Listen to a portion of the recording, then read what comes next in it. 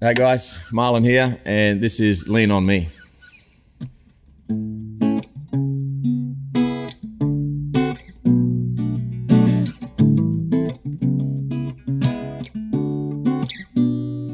I don't wanna play. The rules unfair, and my back about to break.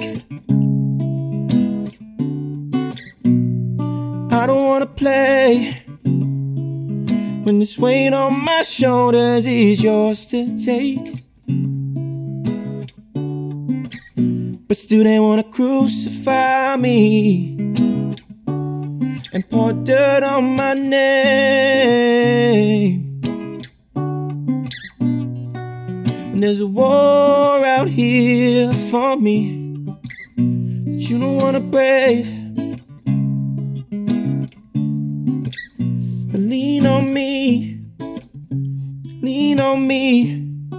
I'm here for your sake. I'll bite my tongue, dress how you like, and do what you say.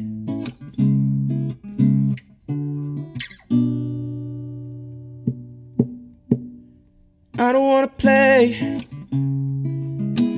War outside and my front line's about to break. I don't wanna play. Breaking all our rules, I'm a prisoner of war again. Cause if you're looking for a problem, you can find it in the one that you love. I keep my enemies at bay to give me time to figure out how to love them. Because with all your money and with all your pride, you got an issue with committing to nice. If you look inside and delete your spite, you'll be the reason I could talk through a smile, but still they wanna crucify me, baby. And pour dirt on my name. When there's a war out here for me that you don't wanna brave. Lean on me, baby.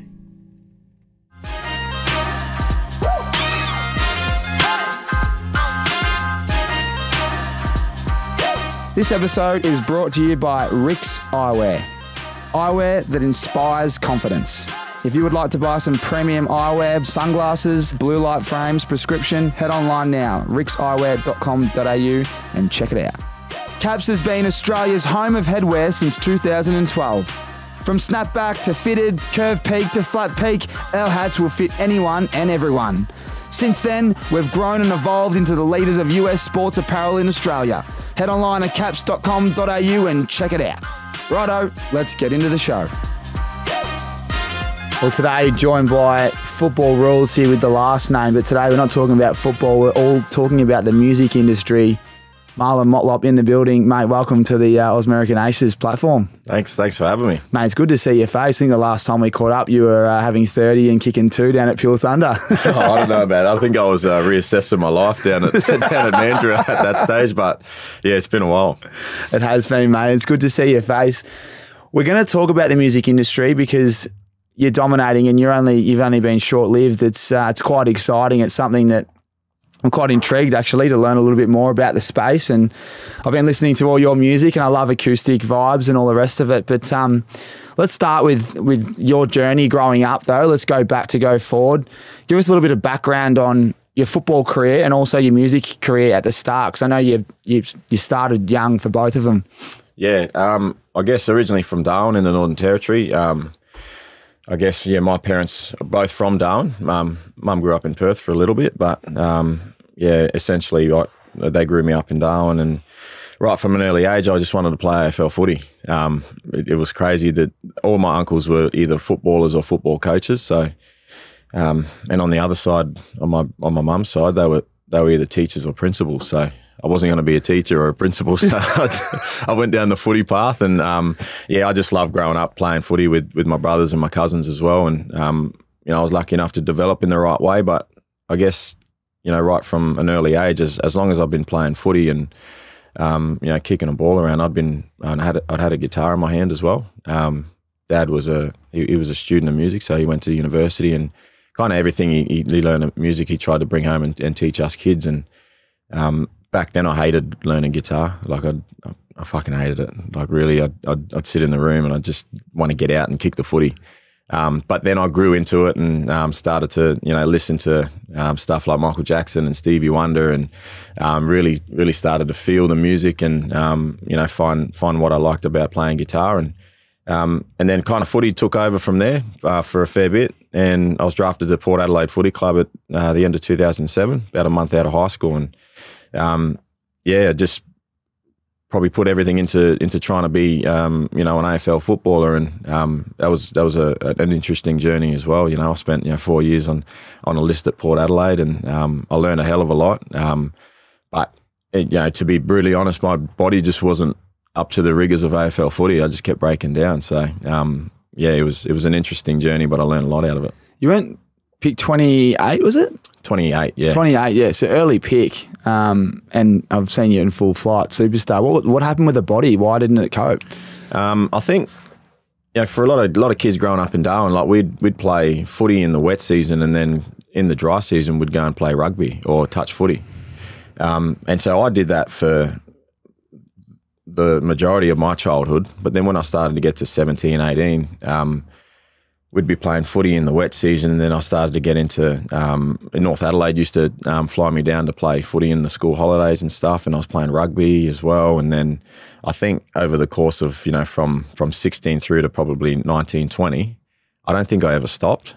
And um, in Darwin, we didn't have pre seasons as well, so you just go from rugby to go to footy, and then go to the next sport. And I think once I got to Port Adelaide, I think the first year and a half, my body kind of coped all right. Um, but then I think it was just a, a, a, build up of probably the last three or four years of just um, wear and tear. And um, I started to suffer a lot of overuse injuries like stress fractures and uh, in my back and in my feet and, um, you know, osteitis pubis as well. So, um, and then, yeah, um, I just couldn't get on the track. And when I got on the track, I was shit out because I hadn't kicked the footy for a while. So, yeah. yeah.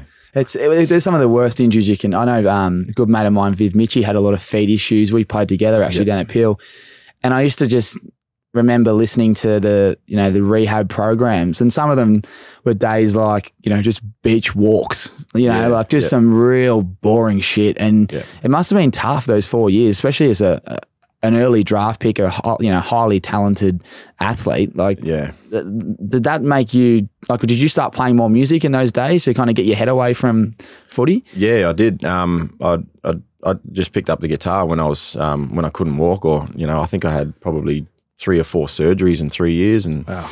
um, yeah, I, I just put, put a lot of time into music, and um, yeah, the rehab programs were. Oh, they used to do my like that. I used to put um, weights in a bag and just walk for two hours, just to get like um, strength in my feet.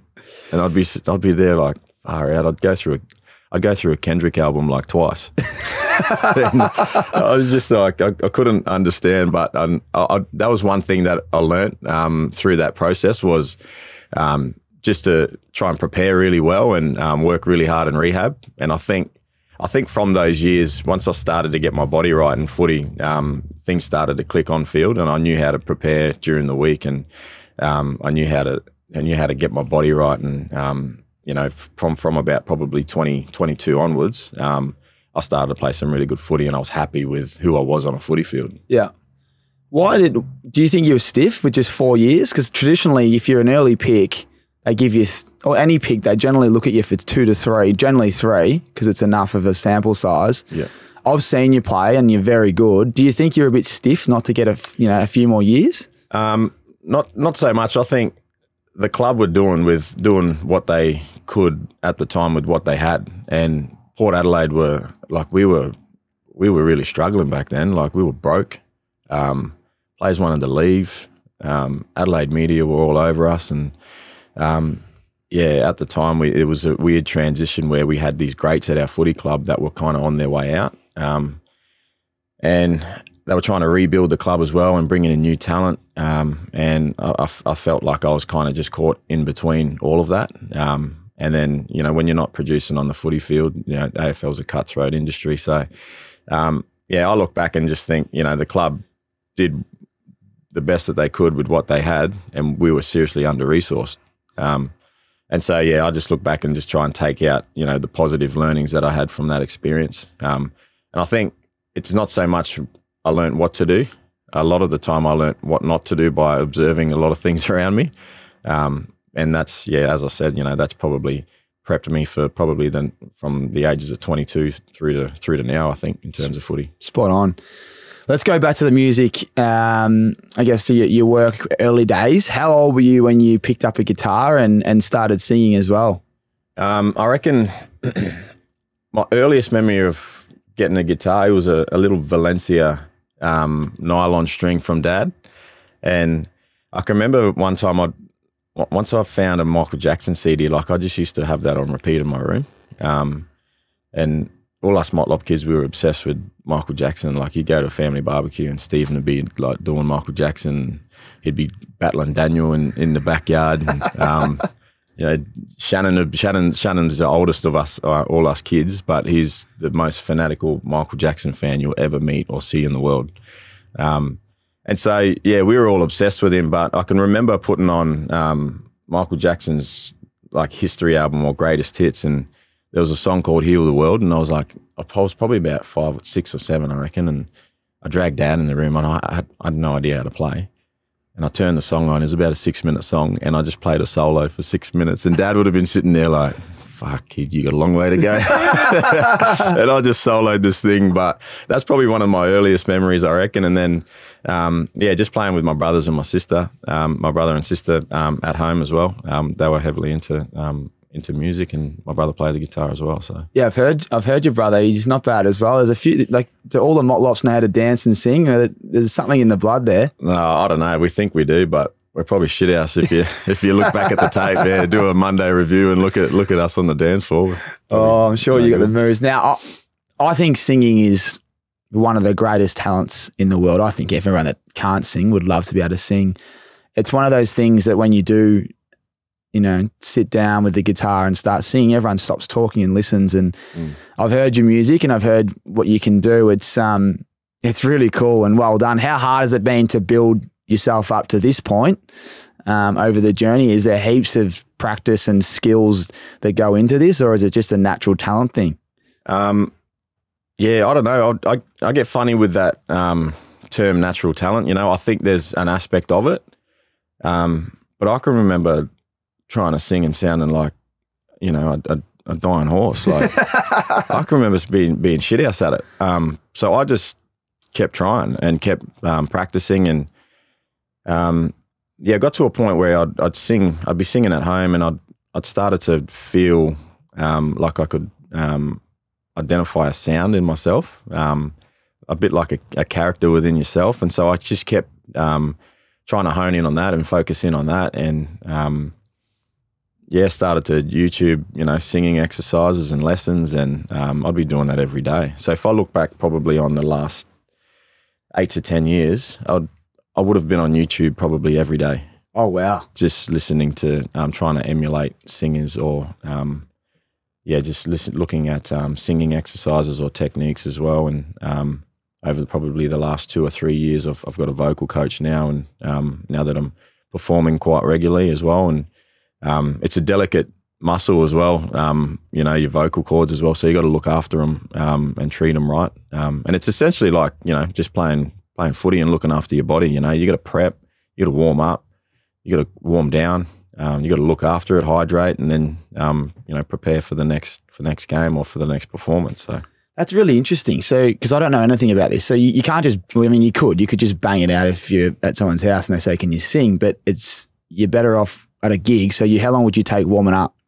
Um, yeah, it would start probably 30, 40 minutes prior. And you got um, exercises as well. Yeah, and you just got little exercises that you do to to warm up and just activate um, activate your your vocal cords. And a lot of it is for me. You, you find um, what works for you. Um, and for me, it's more so just activating your body and your diaphragm and um, and kind of relaxing as well. You know, it's a it's a culmination of a lot of things. Um, and some days you might warm up for for an hour and yeah. um, still struggle, you know. Um, and some days you might warm up for 10 minutes and you might be bang on, ready to go. So um, it's never it's never the same. Um, it's always it's always moving as well, and I think that's probably the fun bit about it. And um, that's where you just you click into footy mode, and um, you just remember all those days where you got a little spot in your hammy where you got to iron it out. And, um, and yeah, it's the same thing with with with your with your vocal vocal cords. You know, you got to iron out a lot of a lot of little little kinks. What about like you know we've all had those games where we're warming up and we're just going shit house. Like I know there's days where I'm kicking the ball off the side of my foot, and you know the game's starting soon. A bit like a gig. You got the gig starts in 30 minutes and you're warming up and you're feeling your voice just not warm up. Have you had anything like that before? Yeah, yep, all the time actually. Um, really? And yeah, I know that's where the the practice just comes in. Like you, you get so hell bent on just trying to sound perfect, um, and that's the beauty of you know performing with you know with with other artists as well. You know, and um, you know we've got, as I mentioned before, we've got a, a guy Grayson Rodimer who's a lecturer at Adelaide University, and um, he's a he's a he's a reference for me. You know, if I'm warming up and I'm like far out, I sound shit house here. I'll just go to him and start playing around with him and just relax into it, and he'll be going, "Yeah, that sounds good," or um, you know, try these sirens and try this um, technique, and um, we'll bounce off each other. And a lot of the time, it's just you and a critic going, you know, you're not, you're not, you're not there, but um, you put your you put your trust in in the prep before that, you know, Like everything, isn't it? yeah. That's funny, man. Jeez, it's a, it'd be a daunting. that- that- let's go to that. Look, There's a gig. There's how many? What's the biggest crowd you've played in front of? Um, I think forty thousand at Adelaide Oval. Yeah. And Do you get nervous as for that? I mean, you- that's probably the beautiful thing about footy. You've you've seen these crowds before. It's nothing new. Yeah. Um, but yeah, there'd be a, the, the little little fella on the shoulder be getting your head there Yeah. before the gig, wouldn't he? Well, particularly with a footy footy event, like I'm walking in and you know the little the little critic on my shoulders going, "You're a footballer, mate. You're not a singer. What are you doing?" Everyone's looking at you like, "What are you doing?" And then you just gotta you just gotta fight him and um and just tell yourself like this is what you want to do. You know, I think I get um I get a real kick out of knowing that I'm here taking the risk and um I'm, I'm I've put in the work and I've prepared really well and at the end of the day, I when I'm performing and singing, I love doing it. Like I love, I love the the reaction from people. Um, I love the the two way conversation that you get from you know an audience and and and that you give uh, to an audience and and get back from them as well. And um, it's just a real buzz as well. And I, I constantly, as footballers, we compare everything to football. If you've been in the game, you know, a long time, um, and you'd know that yourself. So I compare everything like performing to, to football. But once you get on the stage, when you're singing, a lot of it is the responsibility's on you when you're singing a verse or a chorus, you know. So if I stuff up, then it's on me, and I love that responsibility about it. Whereas on a footy field, you can kind of hide if you're having a shit day. Or, yeah, on the wing you can. yeah, yeah. or just pop back to a back pocket and, and stat up and get yourself into the game. Yeah. Yeah, that, no, it's it's a, it's it's so cool, man. Let's go back to the um the warm ups. Can you give me like one right now, just one of many that you do? Yeah, um, it's, it's weird. Like if you're warming No, up in front of people, but um, for me, like it's people will usually start from the bottom end, like a low register, and come high. But I like to start high and come down. So for me, what works personally is if I've got an exercise where I'll go sing like a vocal siren. So it just kind of irons out the little kinks, and through that, um, through that, you find out where you got to iron out a few spots. Little tune up. yeah, Mate, this is so this is fascinating for me. yeah. I'm loving it. And then I guess so. If, we'll get- again, so football on your journey. So when you went from um, NT Port Adelaide, and then was it to Perth? Is that when you went to Peel? Uh, yeah, yeah. I went to Swan Districts for a year. And oh, then, Swanee's first. That's right. Um, yeah, the Cam Shepherd. Um, yep, the great yeah. man. Shout out, Yeah, premiership yeah. coach. Yeah, shout out to Cam Shepherd. Buy one Um, off your own boot there, the banana. Just Google that. There. He loves that one. and then um, yeah, I, I went. He he took me from Swans um, to Peel Thunder when he when he coached. So yeah, they were tough days when we were down there, weren't they? yeah, We had because we were together when Peel weren't aligned to Freo, yeah. That's right. Yeah. and obviously we had some success. I reckon when you left. Yeah. Um, but when me and you were playing together, I remember driving down there and just we were getting belted like eighty points, weren't we? we'd, we'd be sitting in those ices after the game, like, okay, where do we start? yeah. Um, yeah, I know. I look back at that and I was like, I, it was enjoyable. Like I learned a lot of it, a lot about it. But um, sometimes I just think like, how the hell did I end up there?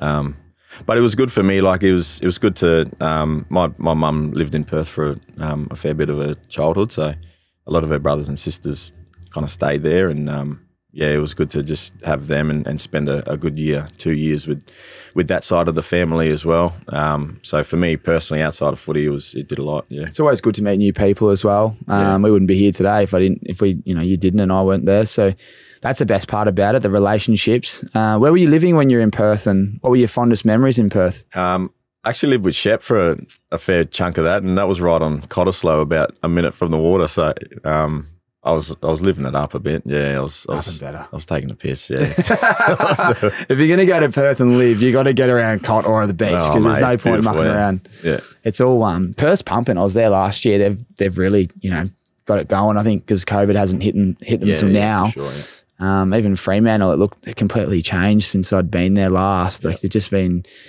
I guess, renovations everywhere, new bars. Like right. it, it's pretty cool. Um, definitely recommend anyone out there that hasn't been get there, especially Cottesloe Hotel for a for a few Sunday beers. Oh yeah, yeah. I miss that actually. I miss the Sundays. Sundays were good over there. Yeah, yeah. Sunday sessions. There's nothing like it. And then after Perth, where'd you go? That's uh, Adelaide. Straight back here. Yeah. Yeah. Yep. So straight back to Adelaide and um, went to North Adelaide. So I played juniors at North Adelaide. So I came back, returned back to North Adelaide, and um, I think I spent probably another five or six years there and finished my career at Glenelg. Yeah. Glenelg. We uh, we just had a, a, laugh about a few guys. I'm mates with your mates with big Liam McBean and uh, Darcy Bailey, just two of the greatest humans alive. Yep. Any stories on them too? oh, too many. Um, yeah. Um, shout out to the the Glenelg Bailey. Um, he's one of the funniest men um, on the planet uh, for oh, me. Right. Like he's up there with yeah, in, in my top five. But yeah, we um, I'd, I'd, sit next to him. So I was number eight, he was number nine. So every day at training, like we'd just be sitting in there and um, it'd just be a talking absolute garbage. like it's just trying to get so a laugh out. Trying to get a laugh out of absolutely anything.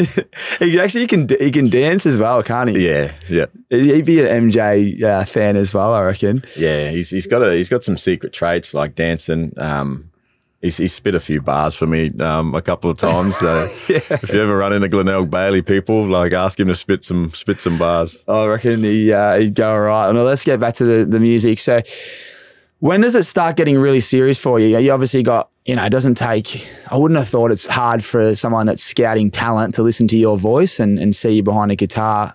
At what point did someone um, reach out to you? Was there a pivotal moment?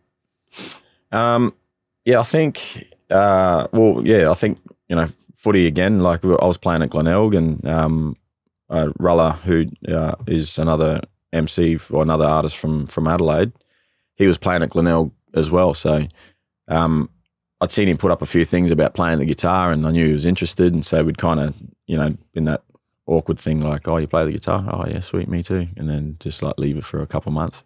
and then we ended up um, linking up and um, just going around his house and playing guitar. And um, and he said, yeah, he'd he'd uh, he'd had a song called Black Swan that he'd been working on um, that he'd wrote after seeing uh, Uncle Archie Roach perform. I think it was down in Tassie maybe. And um, yeah, he asked me if I wanted to you know write a verse and um, you know figure out a chorus for it. And yeah, we sat around one afternoon before training and worked on Black Swan and um, yeah, recorded it and kind of we just wanted to record it and see how it would sound and look. And um, I went off to training, and then the next night he's like, "Yeah, I'm going to put this out at six. and I'm like, "No, you're not." Straight like, out. Hang on, yeah. Um, and then yeah, it, it probably got to about five five fifty five, and he's like, "Bros, I got to put it out." Like I've told it, I've done the teaser. I was like, "You can't."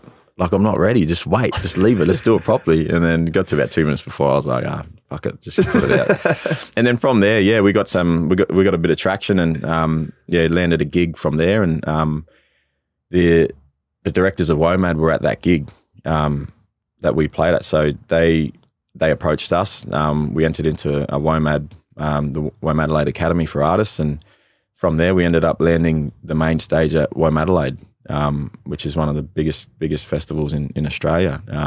Through COVID as well, which was very interesting. So, and then from there, yeah, like as um, I said earlier offline, like from there, the gigs from that kind of just kept growing and um, leading to you know other opportunities um, in the industry. And um, I think that was probably our our second live gig together doing WOMAD, and then I think the third or fourth we ended up at Bass in the Grass back home in Darwin in front of I think 15, 16,000. That's so cool. Yeah, and then AFL halftime and That's epic. Just just what's WOMAD for everyone listening? yeah, Woe Adelaide Festival. Yeah, so it's um, it's essentially a, a festival made up of um, artists and um, from across the world. So usually it's a global event. They grab um, you know artists from um, you know multicultural backgrounds and um, you know world art and bring them to bring them into Adelaide and they hold it in uh, the Adelaide Botanical Gardens there. That's so cool, man. Yeah. So he's he's dropped it. You're like hold back, and to be honest, it was the right move in the end. Yeah, it was good. Yeah, just needed a little bit of a push. Um, and then I think I'd, you know, I'd just turned my phone off and just left it. Um, woke up the next morning and yeah, there was, you know, all the little red notifications were up and I was like, no, I can't handle this. I, I just can't, can't do it. It's it's mate, it's a cool song. I've been pumping it. Um, Black Swan. You just head online to Spotify under under Marlon. Under Marlon, yeah. Yeah, Yep, yep. that- you can find all our songs under either Marlon, Rulla. Um, we did that one with a producer, um, Jimbler, who's um, yeah got a label Black Empire. Um, so he's a he's a great producer. And um, yeah, we did that one with him, and um, I ended up doing a couple more with him after that. And yeah, Dumb it down for me. Just the just the process of a song, right? So, singer songwriter. So say you write the song and then sing it. Yep. And then you got a producer. And then there's I get confused with all the record labels and all these deals and the managers. How does it all like? Who's involved in an album or a song? You- Have you got some music coming out soon as well? Uh, yeah, we've got some new stuff coming out. Yeah, Cool. so um, I guess it'll come from a song that, say, essentially, I write a song. Um, I'll go and sit, find a producer, um, and then we s- sit and make that kind of into a track. Um, and then you put all your kind of bells and whistles. I like to write um, just simply off of either a bass guitar or um, a simple bass line, or just with my acoustic. Um, and then the producer will add in, you know, drums, or you might work with a, a, a couple of. Um, he might have a couple of mates that specialize in drums or vocals, so they'll come in and work your vocal lines or or whatever. And um, yeah, once you're happy with the track and where it's sitting, um, once you got whatever you need in it, um, you then get get it mixed and mastered. And then once it's mixed and mastered, then um, you can either, if you're with a label, your label will then distribute that out.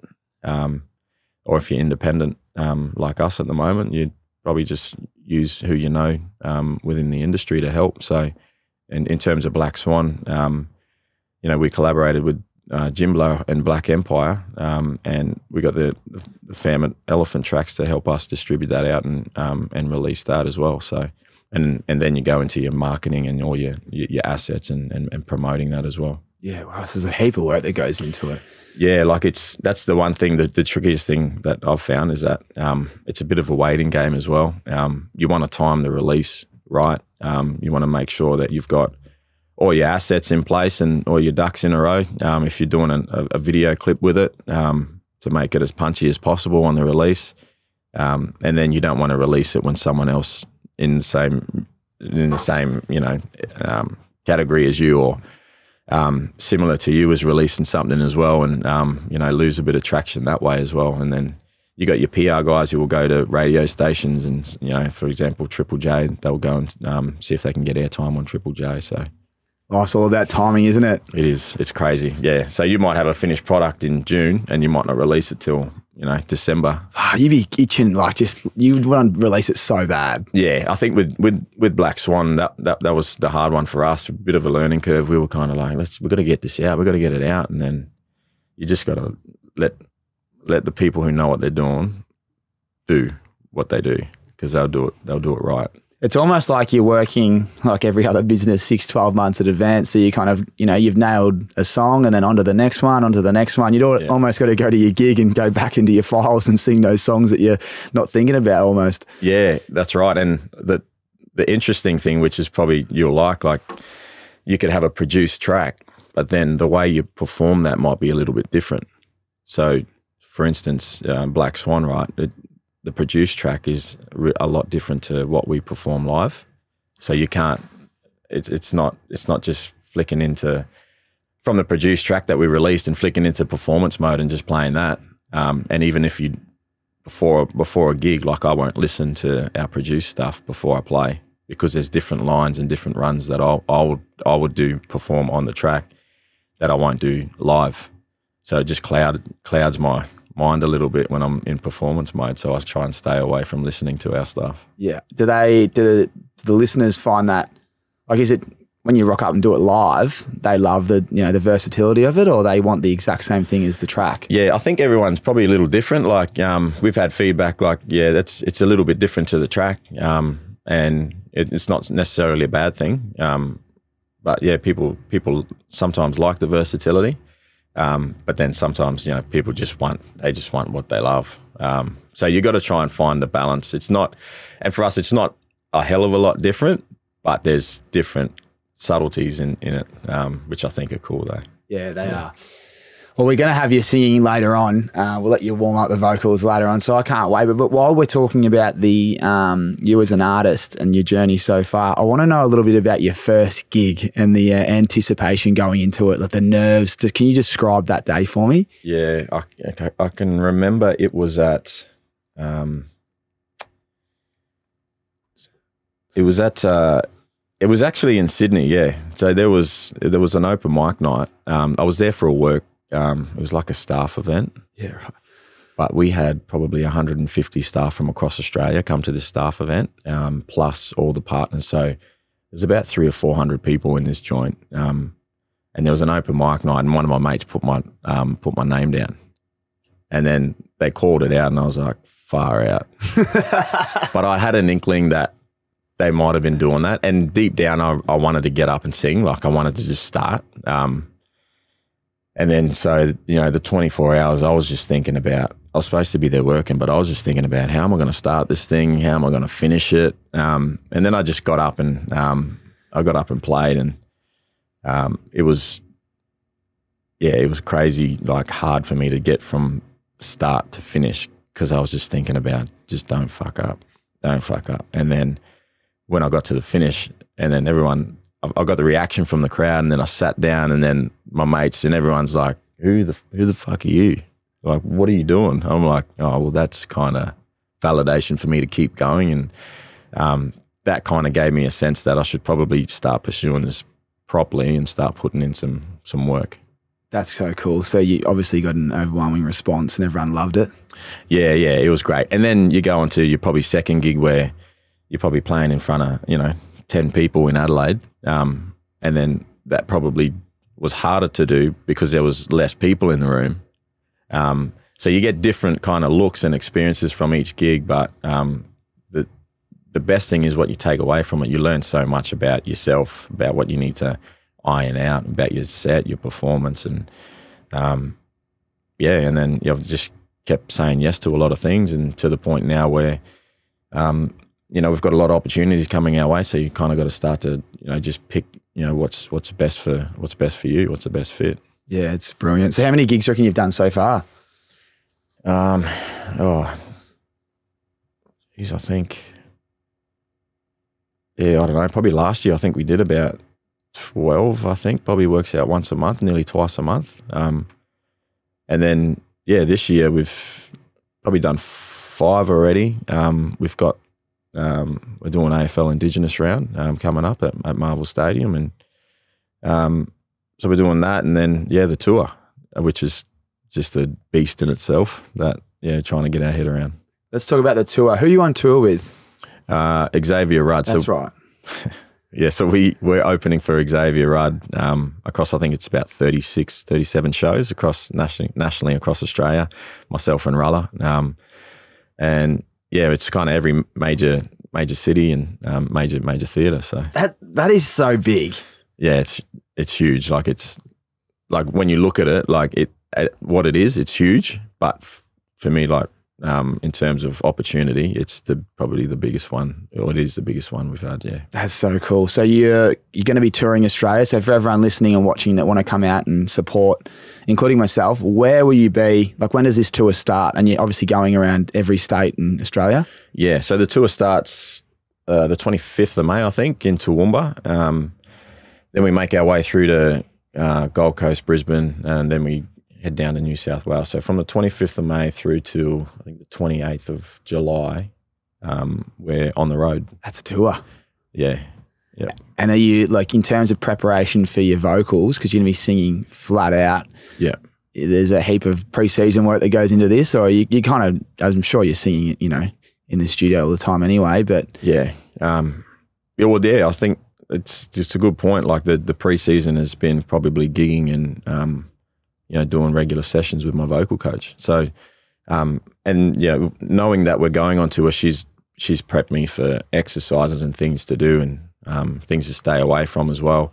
Um, you know, the tour, tour life, you can probably fall into the trap of, um, or just gigging life, fall into the trap of, um, you know, drinking your rider dry in the green room before before a performance and after. So, um, you know, on tour can't be can't be having too many beers or drinking too much alcohol, and um, got to stay away from you know fatty fatty and oily foods and spicy foods and stuff like that. So, That's so cool. So that's what this. So just for, so that's great insight. So you, you you shouldn't drink alcohol at all if you're being really professional. Is it all good to have a couple beers? um, yeah, it's it's all right. It's based on based on how you work. I think it's all all down to um, you know what's what's best fit for yourself. But um, I know that it, it it dries out my vocal cords, um, and it just makes it a little bit harder to. Or I, I got to I got to my output of effort is um, a little bit more than when I'm not. And then the other thing is like you like to just enjoy the moment for what it is without having any um, alcohol in, in, in your in your system as well. You know, sometimes walking onto a stage and um, but it's very easy to to just sit there and eat the pizzas in the in the green room and um, have three beers, um, and that turns into ten, and then you go on stage. You know, so you got to be smart. Yeah. So what is your perfect preparation for a gig?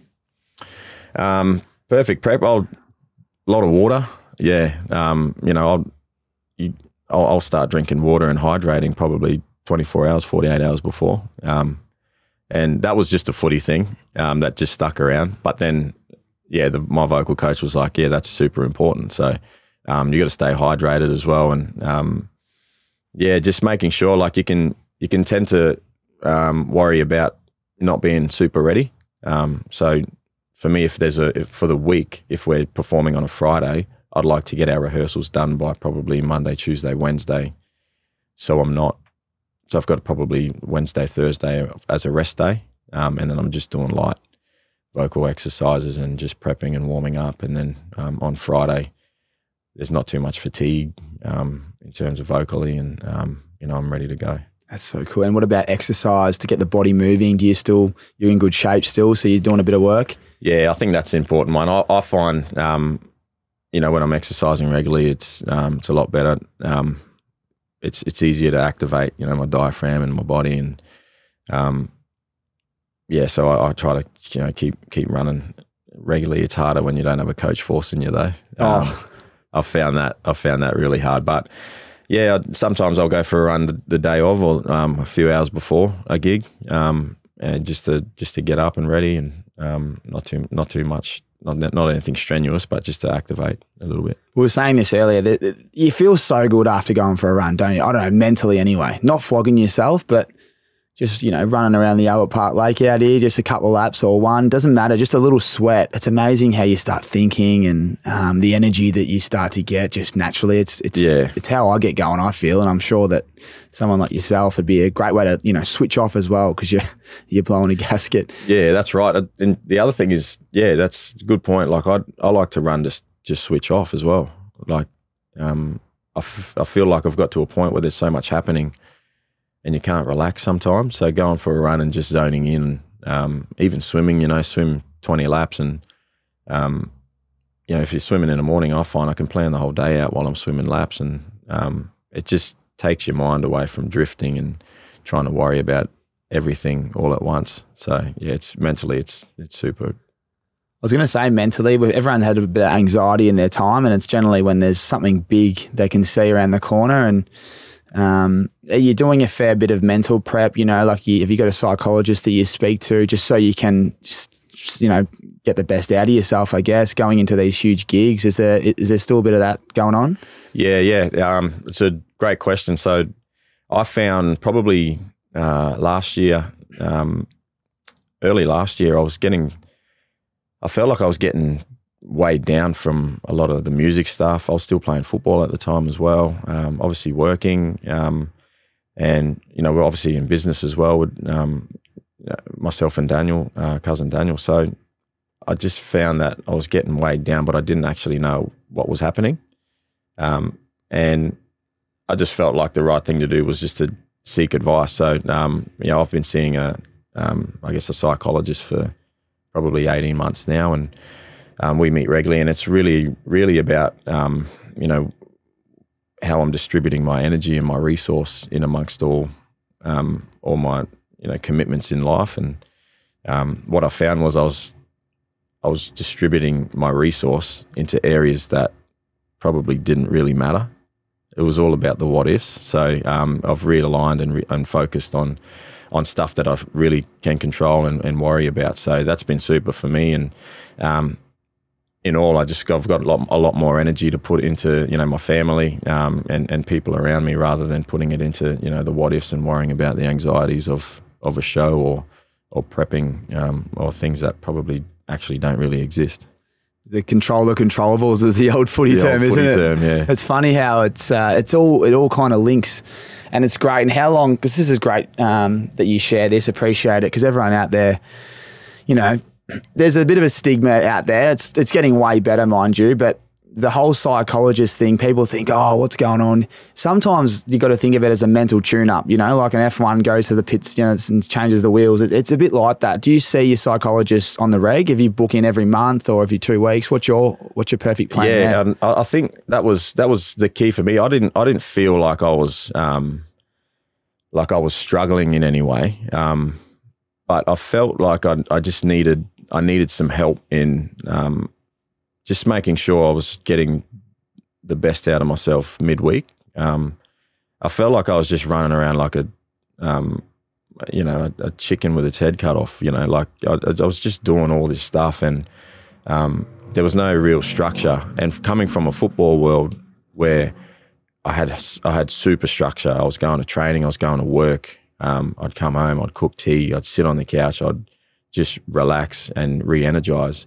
And then once the, this footy stuff came into play, uh, the music stuff, sorry, structure went out the window, and I was just jumping around and saying yes to everything. And um, it, for me, I, I wasn't mentally feeling down, but I just felt like I needed um, needed some assistance in making sure that um, I didn't get to that spot. So I, I wanted to stay ahead of the game for me, and and that's essentially why why I went and did it. Um, and now I just see I, I see her regularly, um, just to make sure, just to check in and make sure that we're doing. I'm I'm, I'm still practicing the things that um, we've put in place. Yeah, it's good. Good accountability, I guess, isn't it? And consistency. So yeah, yeah, great, great, great sharing and some of that knowledge there, mate. You know, just the consistency, like you said, and um, getting the best out of yourself is probably the key key theme there. Righto. So back to music.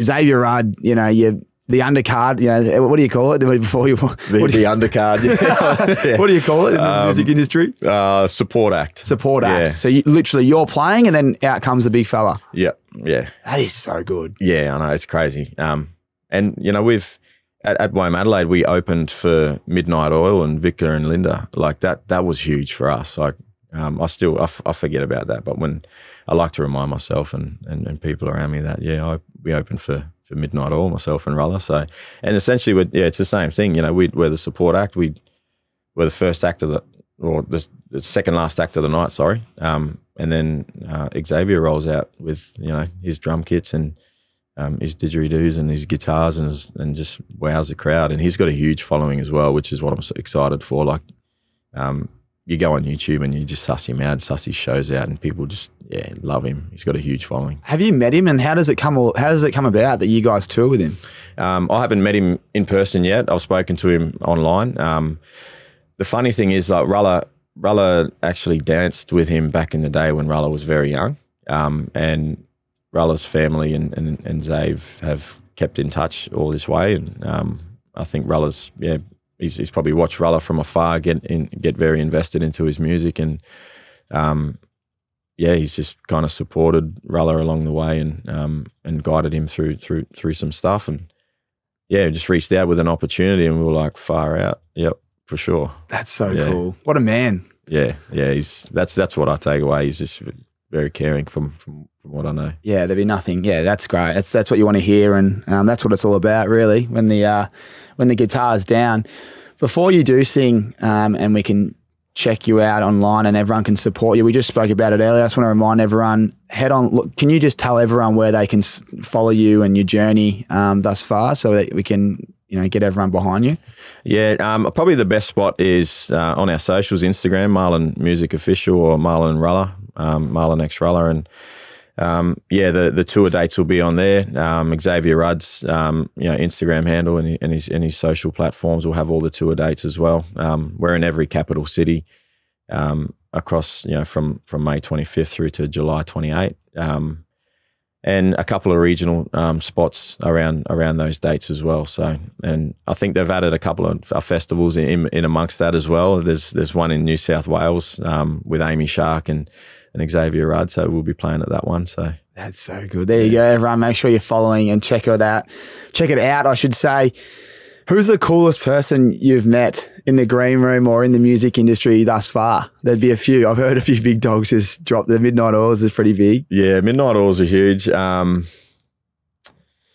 oh, Bass in the Grass was was was pretty cool. Um, yeah, we had there was Jungle Giants up there. You know, Peking Duk Crew. Are, they're super cool. They're Um, lads. yeah, met them briefly and um, you know, chilling it was just yeah. He, I ran into him a couple of times and he, he was amazing. But you know, people like Uncle Archie Roach, like he is he's monumental in Australian music and um, a big part of you know my music, uh, what I would listen to growing up. So to be able to perform with him and um, just recently did um, did something with with Hilltop Hoods as well. You know that was pretty cool. That is Um, sick. Yeah. So uh, yeah, it, it's just it just continues to grow as well. And yeah, you know, people like um, you know in the Australian hip hop scene like um, Urthboy as well from from Elefant Traks. You know, people like that are just you know of them, but then you meet them and they're just they're just like me and you. Like they're just they're just people, um, and you just you're just amazed by how um, down to earth and how friendly and caring they are, and, and supportive of you as well. And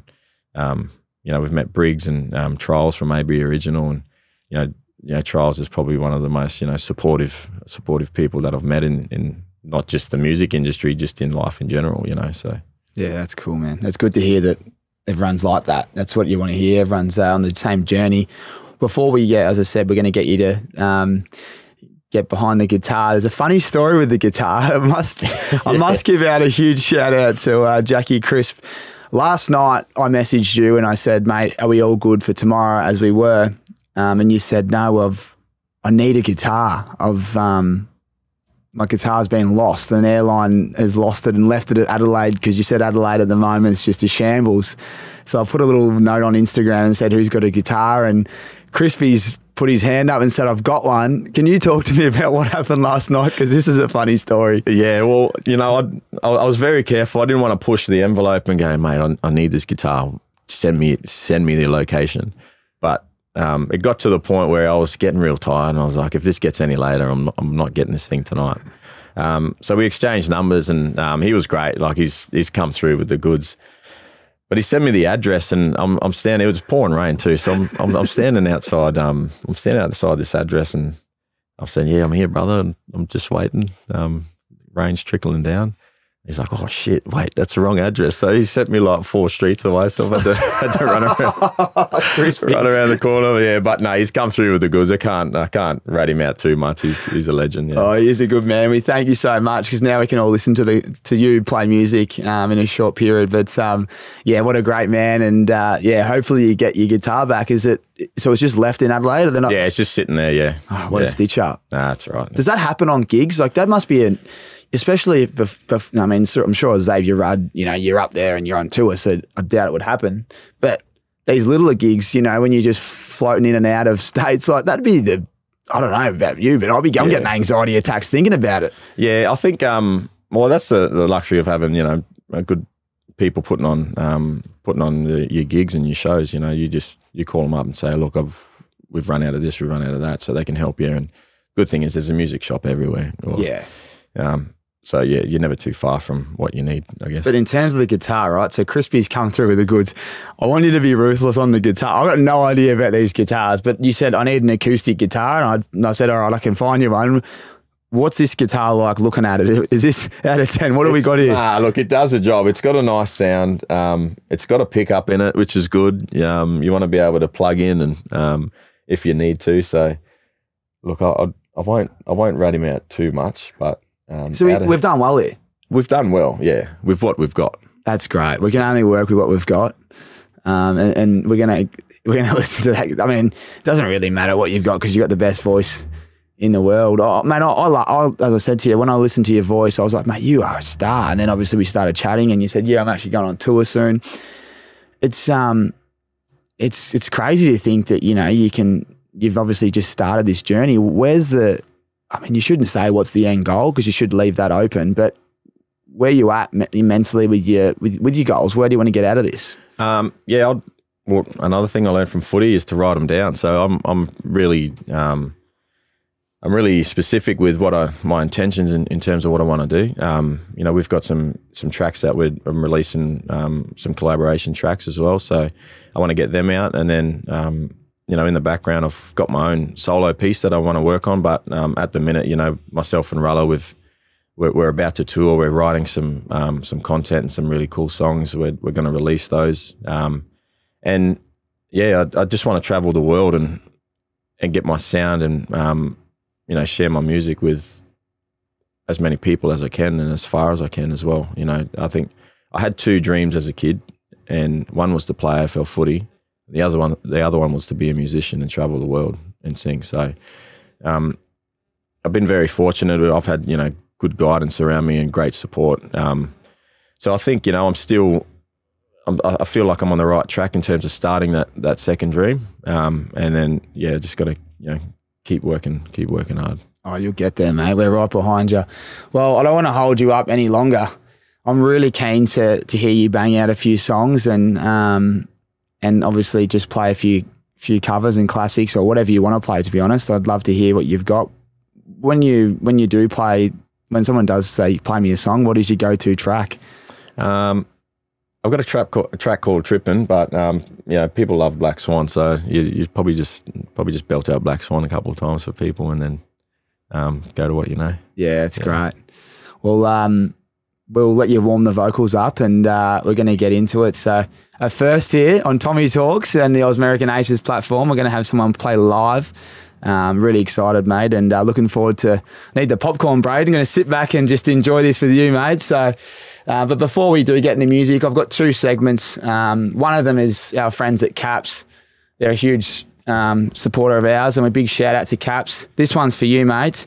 Uh, are you into your American sport? Uh, you know what? I, I I wasn't, but then I was into podcasts, and I started watching and listening to the Pivot podcast. Um, Yes. yeah, with Freddie T, Channing Crowder, and uh, Ryan Clark. So They're the best. and now I'm into NFL. So um, I'm really, I'm really invested. Shout out to Pivot, Pivot podcast, but um, I love that. I watch that. I watch those episodes like twice over.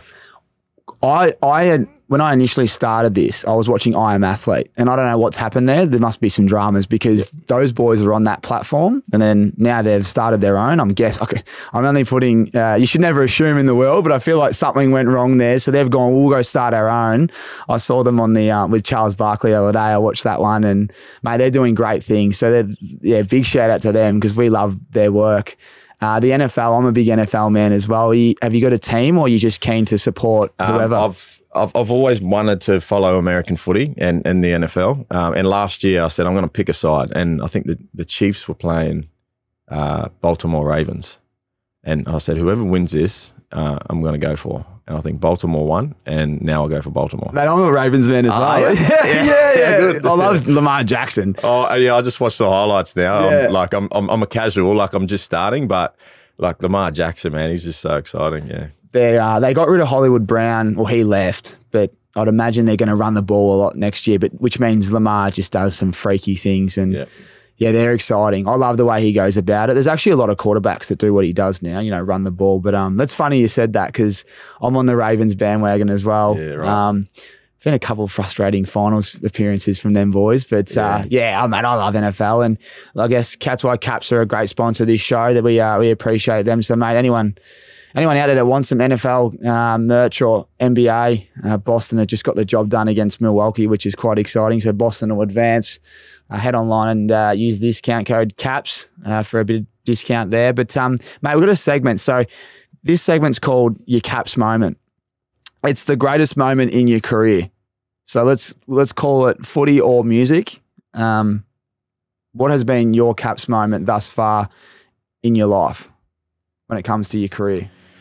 Um, yeah, it's it's a hard one. Um, I think it, I just go back to you know my dreams as a kid. You know, playing my first AFL game. Um, I got to share that with my older cousin Daniel, who's um, been a great role model for me uh, in a, you know most of my life. And um, so in terms of footy, yeah, playing AFL, playing your first game, kicking your first goal um, on MCG as well, that was cool. And then in terms of music, I, I think you know there's been so many um, so many awesome moments. But I think we spe- shared a real special moment with Archie Roach, um, where we played played Black Swan to him in a private um, session before WOMAD. So that was pretty cool. I watched that. That was cool. Um, as you know, live as well. It's pretty special. Yeah, yeah, that was amazing. And I had my mother in the room as well, so that was even Yeah. better. Yeah, Is that the first time you'd played that? um, probably the fourth. Yeah, so it was fresh, yeah, it was wasn't real it? fresh. Yeah. Yeah, that's epic. Oh, there you go. The CAPZ moment. We love that question because everyone's got a, a, a special moment in their life. It's a bit of a pivotal moment, and uh, we uh, we love you sharing it. And the other one is uh, the Rixies, mate. We've got a Rixon retirement question. Uh, this is where you. When you when you do travel the world and you dominate and you you know you headline all these acts, you, you get your RIXX on. You're you're going to retire in the world. Where's the one place in the world that you'd uh, you'd love to retire? Back home in Darwin, I want to retire in Darwin with a big property, um, plenty of kids, and my nice dog Sunny and, and, and my partner. Just just chill back and relax, go fishing. I love that. Yeah. You know what? I got I got a funny story. I, I've never had a pair of RIXX. I've always wanted them. And you know Mark Stone from the old Freo, Yeah, old Stoney, Freo days. yeah, yeah, yeah. Stoney always used to go. He goes, "Get the RIXX on." they RIXX. I'm like, I can't afford them. They're too much. Stoney, he's at Brizzy now, isn't he? He's The at Brizzy. Yeah, great man. Oh, that's good. That's great. Oh, well, big shout out to. Stoney. Nah, pleasure, mate. So when you when you're playing your gigs, feel free to throw them on, and if the uh, if and the boys, anyone else needs a pair, hit me up. Righto. Well, this is my favourite. Uh, I'm very excited about this. This is where I can shut up and let you just do your work, mate. Hey guys, Marlon here, uh, and this is mine and Rulla's track, uh, Black Swan. Shout out to Rulla Roll down back down in Adelaide.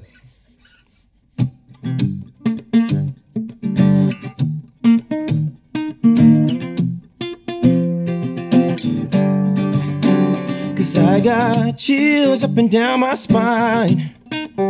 Won't leave me alone, my man. Cause I got thrills up and down my life. You won't leave me alone, my baby. Because they're taking all of our money as we're walking out the door. And they're leaving all of their loving, and she's telling him to let go. You can see it in the writing as we read it on your wall. She's a devil in disguise, and I'm a, a pawn to a lost pawn to a love cause. Black swan, black swan, stand up tall when you're singing, cause you're singing for me, my man. My man, my man, na na na na na. Black swan, black swan, stand up tall when you're singing, cause you're singing for me, my man. My man, my man, na na na na na, baby. Singing to me, my baby. Singing to me, my baby. Singing to me, my baby. Thank you.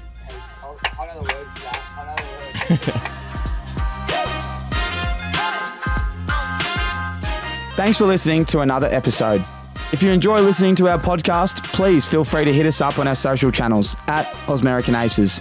If you're entertained, inspired, or feel more educated, please share it with your friends and family because we appreciate the support. Righto, catch you on the next one.